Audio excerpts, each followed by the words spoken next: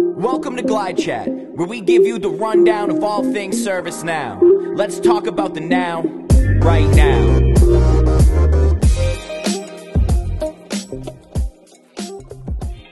Hey, everybody.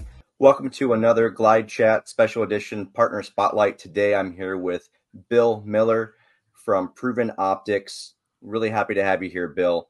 Um, how you doing today, Bill? I'm doing great. How are you doing? Not not too bad, not too bad. So I want to jump right into it and get to know Proven Optics a little bit more and how we work together. Uh, for those that aren't familiar, could you walk us through a little bit about Proven Optics, who you guys are, what do you guys do? Uh, absolutely. So Proven Optics was founded in 2020 after I spent probably the last uh, 15 years doing management consulting, helping companies understand what they're spending on technology, and then as they understood that spend, looking for opportunities to invest uh, more intelligently, make better decisions about how they spent their IT money, uh, communicate effectively uh, how they were spending their IT money. Uh, and there was a lot of software products on the market, but none of them really seemed to fit into what we were trying to get done. So we ended up uh, leveraging a product on the ServiceNow platform and in late 19, ServiceNow approached us and said it would be fantastic if you guys would co develop with us a, a, product on our platform that really kind of captures what you're trying to do uh, when you go in and help organizations with their uh, IT costing. And so our first set of applications rolled out on the platform in late 2020. And uh, we now have, I think, seven applications, and the rest is history, like we've just been running ever since uh, in that direction. That, that's great. I, I know about a few of the applications with the the basically the, the budgeting application and mm-hmm. the, the cost analysis. Can you talk a little bit more about what those applications do, what what they're called, what they solve? Yeah, sure. So we have a set of applications that are really focused at enabling that IT financial management practice for the IT department, but also for finance. So we kind of straddle both of those um, uh, departments within an organization we do a budgeting app. Why do we do a budgeting app? There's a lot of budgeting opportunities out there. Like you can get budget apps from multiple sources. I think what's unique about our approach is nobody ever uh, calls an IT department and says, Hey, I need a week of salary and some depreciation. Like every budget I've ever seen in my life has been salary you know, uh, travel, training, hardware, software. That's how we budget. But nobody picks up the phone and says, "Hey, IT, I need some salary and some travel." Right? They pick up the phone and they say, "I need a laptop deployed. I need an application built." While that takes people, labor, and salary dollars, and it does take sometimes travel to get it done. Uh, at the end of the day, it's not the way we engage with the IT department. So when we budget, we want to talk about it in the context of what we're delivering, not in the context of the parts that make it up uh, and so that's sort of the difference on our budget app. And our cost modeling app is all about looking at how holistically IT delivers capabilities, technical capabilities to the organization. So, for example, you build an application. Well, that application rides on an infrastructure, it has a middleware, it has a network connection. And so somebody comes along from the business side and they say, well, how much does this application cost? Well, if all you talk about is that thin little software layer that sits at the top, you're missing the fact that there's a whole lot of other costs that that application drives uh, simply by being part of the uh, ecosystem within our company. Um, we split those applications federal and non federal. Why that? Because in the federal government, you do a, a budgeting practice known as commitment based accounting. It's not GAAP standard accounting. So it's a little bit different. We wanted to make sure we had a product that made sense and resonated with our government customers. And I'm happy to say I'm I think we're the only ones that do that, which every time we show it, the government folks are always like, What? You know what we're talking about. So uh, it's been really kind of fun that way as well. Uh, that's great. And so you're you're built on the ServiceNow platform. Yeah. Was that by design that uh, you said ServiceNow approached you for this, but yeah. do you feel that that's the um, the most amount of synergy you can have with with other platforms? Did you look at other options when you were creating this company? Yeah, I mean, we I've been doing this for a while, and I have used I implemented I you know probably six or eight different uh, methodologies. I've done Excel spreadsheets. I've done other uh, platform agnostic um, applications. I've done standalone applications. I've done SaaS applications. All the while, we were trying to help customers kind of realize this goal. But the thing about IT financial management that is unique or drives sort of a different set of need is what I really call the triangle of understanding, which is the trade off between price, performance, and risk. And IT decisions aren't just about cost. Uh, oftentimes, organizations, when they talk about investing in uh, anything, they talk about the cost of the investment, but the ROI, the uh, non financial dimensions, what do I get for my money that I'm putting in this investment? Well, if it's about a business practice that the company is very much aware of, people get it. They can just talk about it. But technology is one of those things where uh, it's an integral part of the company, but most of the people in the company don't really understand it. They don't understand the technical aspects of it. Um, it's complicated. It's very technical, what they say. So, price performance risk is this ability to trade off the cost of something with the performance I expect to get and the risk I'm willing to take on. And risk and performance are your, your cost drivers. So why ServiceNow? If you look at that platform, what is native on that platform? Performance and risk. It's all sitting right there. So when we come in and drop our application on top of that, now I have the price and I can pull the performance and I can pull the risk and we have an automated way to intelligently, systematically, repeatedly talk about our IT investments and the benefits they bring. And that's there's nothing else that does that out there. You are every place else I've been trying to cobble that synergy together. Uh, and it just becomes really a maintenance nightmare for the organizations. And ServiceNow is like it's like the easy button. Yeah, absolutely. You know, having that workflow of workflows or that you know, workflow engine for enterprise and putting proven op- optics on top of it, I, have seen it be very uh, powerful. So, yes, very happy you guys are uh, in that space there.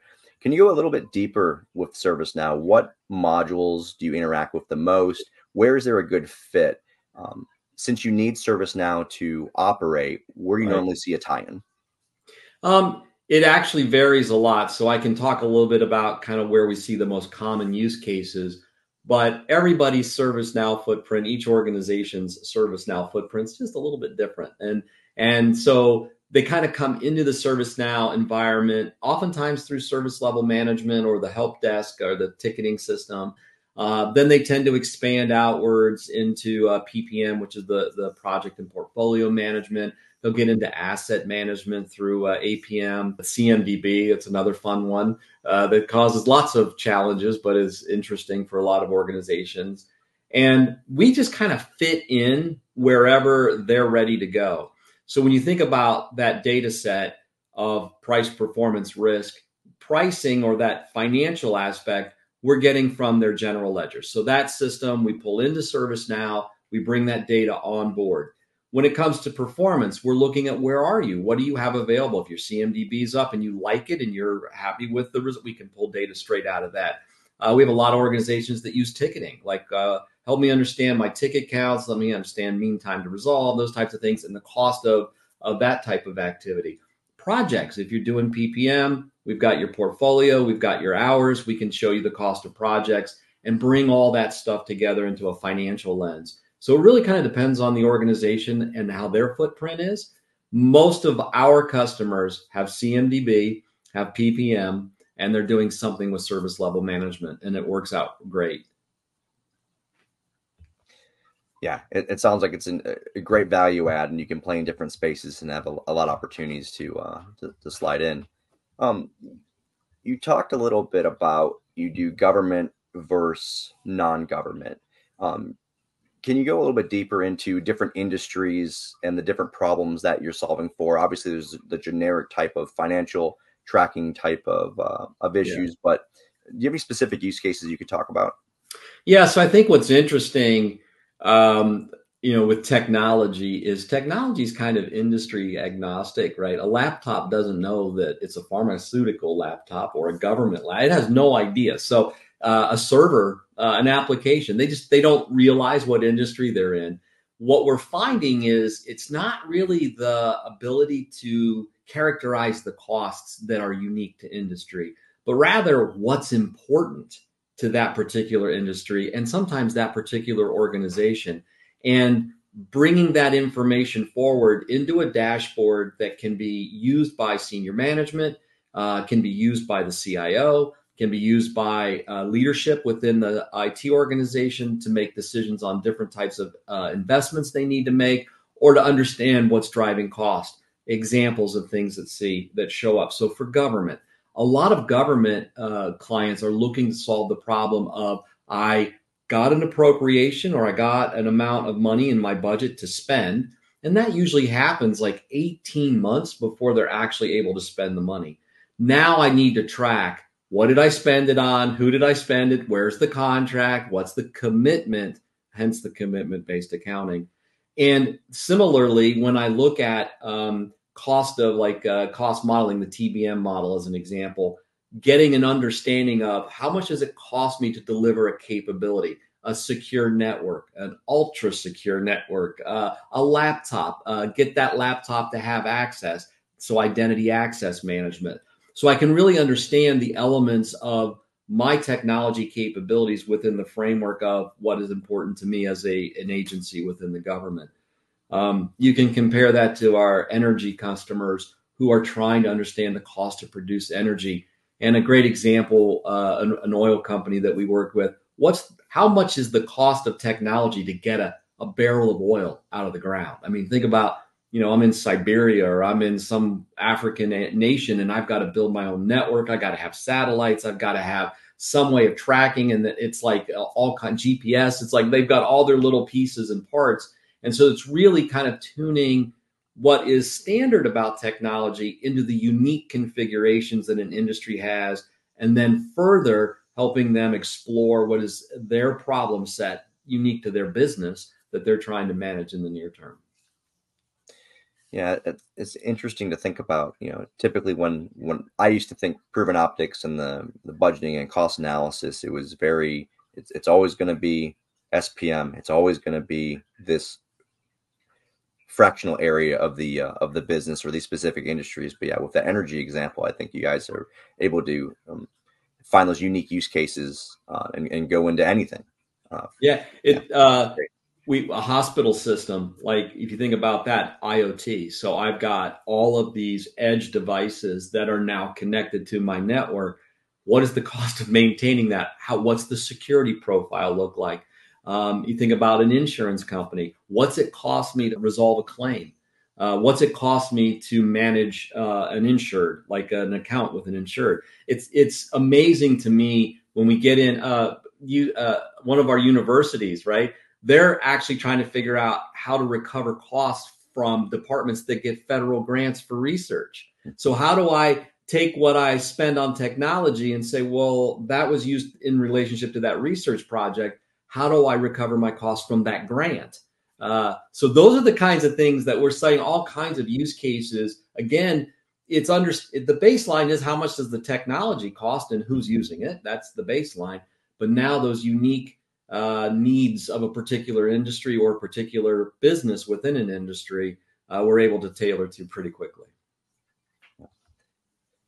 Let's um let's talk about displacement.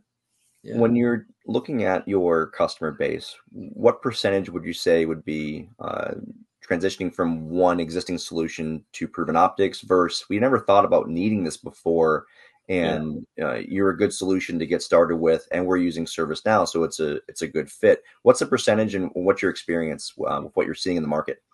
Yeah i think um, there are industry sort of um, norms. So for example, if you're in financial services, I mentioned insurance, if you're a bank, uh, if you're in a regulated industry um, like pharmaceuticals, if you're a, a, state where you're getting federal money and you and you owe back legally, you owe back to the federal government an accounting of how you spent the money they gave you. Those types of industries have been doing what we do for decades. Like it's nothing new. They've been around. They've tried different solutions, and what we're finding is that the pieces I talked about, that price performance risk triangle, is the core that really makes this whole process functionally, systemically easier to follow, easier to maintain, easier to use. Uh, so ServiceNow is a natural fit for that. And many of these organizations have ServiceNow. Many of them have used other technologies, other software products. Some of them are on spreadsheets, God love them. Um, and so they kind of know what they need and they kind of know what they want. And so it's a pretty easy conversion over. And what they love about it is the speed which they can get stood up because ServiceNow is really easy to get things rolling in. And then they can hook up all those data sets. They're on the platform, they're already sitting there. All service now. tables can talk to each other with the right permissions. And we're just off to the races really quickly. Uh, there are industries that are just now waking up to the fact that they spend money on technology, which just baffles me. But uh, you know, they're just like technology as a spend as a percentage of their revenue has gotten to the point where senior management is like, what are we spending money on? Um, you have a couple of interesting cyber events occur, and I always think about like the, the recent CrowdStrike thing. They sort of spark an interest in folks who aren't doing this today to say we probably should be paying attention to this. So um, you kind of see those two pieces when you go into somebody, an organization that hasn't done this.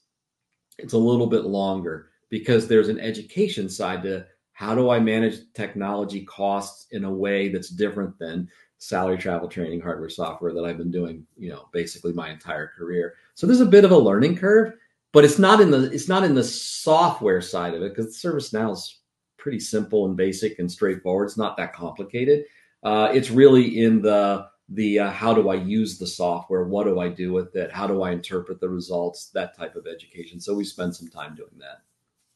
Yeah, I say it's an incredibly intuitive platform and, and pretty powerful. Um, yeah especially since you're able to build an entire business and application on top of an existing business, which is kind of kind of crazy to think about. It's fun. yeah, absolutely.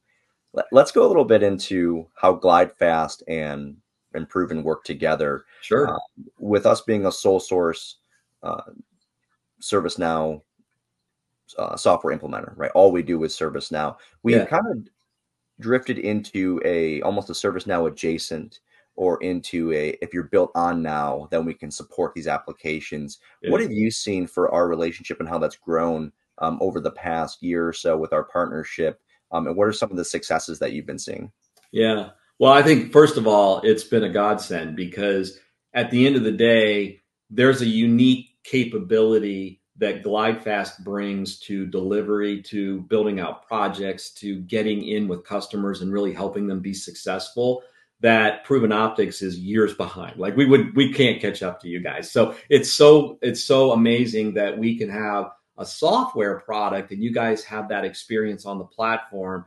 And so our software product for your team is like oh yeah click there click there. Like they get it. There's there's hardly any sort of training or or or really deep sort of the challenge with learning it's not new is guess what i'm saying? It's an extension of what they know. And then the ability to go in and actually execute a project and do it well. Um, you know that's that's a unique set of capabilities and we're just thrilled to have a partner that's like yeah we want to do that. Uh, we're not a huge company and so it was very exciting for us the glidefast was like we might be interested. And we were like we would love for y'all to come and help us do this yeah absolutely I, I think the communication between uh, us and your team and how we're able to partner together on you know marketing events and webinars yeah. and and the implementation side where our team's able to step in and and help the proven optics team tackle those deals um, and, and shift some of the liability uh, I, I, think it's been pretty powerful that and uh, mutually, mutually beneficial uh, for both of us. Yeah that that's how it works right? It's got to work for everybody. I think as we kind of watch we've had um, we have worked we've worked with other partners before guys and uh, I think what we've noticed uh, most strikingly is um, one, the level of engagement that GlideFast has with Proven Optics. Uh, the second piece is the level of engagement that GlideFast has with their customers and the level of trust that your customers have in your ability to get them where they need to go. And that's not true for everybody out there in this business. That is not the consistent case. There's unfortunately um, um, organizations that just don't have that integrity and or that capability. uh, and uh, so they don't deliver like that. So what's really been amazing for us is to not only know that we've got a good partner, but that the partner we can trust and that our customers trust. And so that means that they can trust proven optics. We all benefit from that. And that's been probably my most exciting part of it is to find a partner that's like, yep, not only can we do it, but we can do it well. Absolutely. Well, Bill, it was great talking to you today. Uh, I appreciate learning more about Proven Optics, how you started, and and where you're headed in our relationship. So thank you so much, and thank you for everybody joining us with our Glide Chat today. My pleasure. One. Thank you. Do you have a topic in mind that you'd like to discuss? Reach out to us at glidefast.com and subscribe to our podcast for new episodes. Thanks for listening.